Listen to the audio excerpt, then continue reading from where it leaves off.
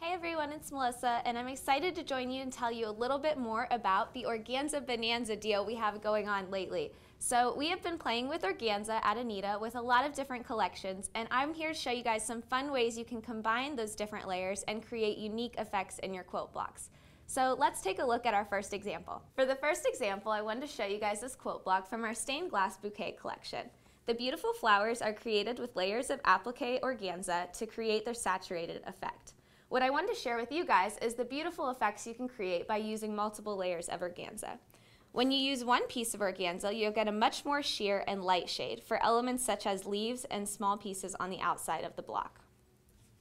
When you add two layers of organza, you start to get more color and more saturation within the tones of the flowers and elements you choose to place it within, like we did here. For the most color in the center of our block, we use three to even four layers of organza to create much more bright and vivid tones. The layers and how many you use are entirely up to you.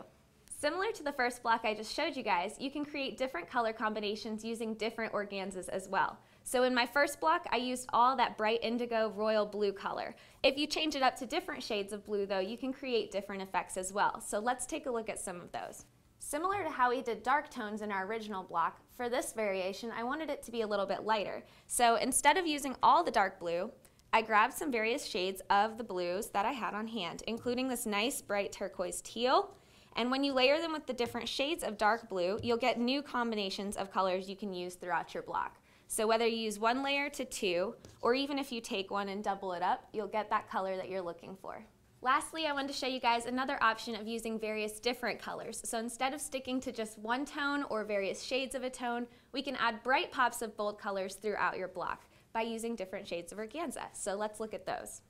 For my last example, you can see lots of beautiful colors shown throughout the stained glass effect here. We have different shades of green as well as different shades of pink and orange. To create these, we used some of the primary colors that we had on hand, like the yellow, some pink, we did some orange, and you get vibrant colors as you combine those as well.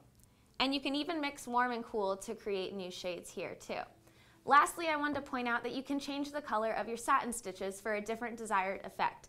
In our original, we used black thread, but in this one, we actually chose a more charcoal color, so the combinations are not quite as stark. The creative freedom is up to you, so feel free to layer your organza however you see fit. And that's all the fun tips I have for you guys today on how you can take your organza and create a whole new project to make it entirely your own. I hope you guys enjoyed this organza bonanza and stay tuned for more.